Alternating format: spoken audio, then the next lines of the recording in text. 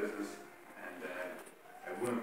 Uh, the first job to do a corporate meeting a long time ago, and I can't say she made me any prettier, but uh, then again, she wasn't doing her artwork in Lourdes, so. Uh, uh, but just to wish her very well on behalf of everybody. It's a, it's a brave move, and to see her abilities and her qualifications are fantastic.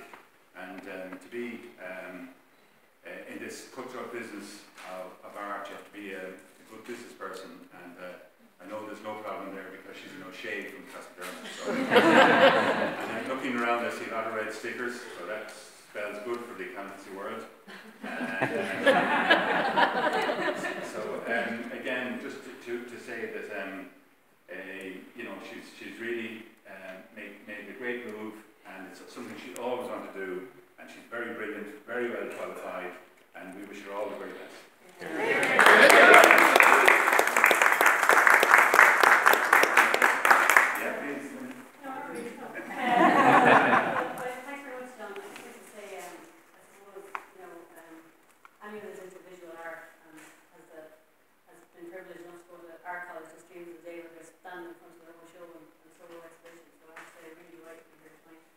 Um, so it's a great privilege and um, just asking for everyone to Um, this marks the start of a new career for me, a new chapter, to get away from the glamorous world of financial services. yeah, and, and banking, corporate finance, and many acronyms that we have every day in the week. So, um, yes, we're looking forward to returning to passion, so it's, it's, it's brilliant.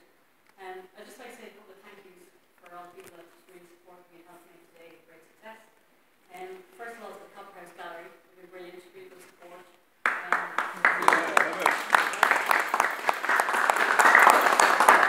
Sarah, Mark, Ben, Jack, who all helped.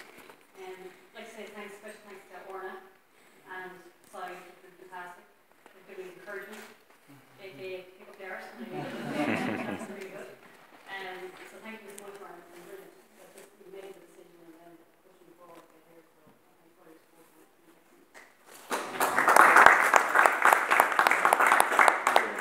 Thanks to John for his his kind words. I forgot about that word. You didn't charge me, yeah? Too late now, too late. yeah, that was it. Um, so just thanks to John and for Ray and sending the talk here, it was great, from the rest of you. And who else do I want to say? that? Uh, Colin for Colin um, and Jared as well. Jared's been great. He's been so much support. And finally to my husband, who's um,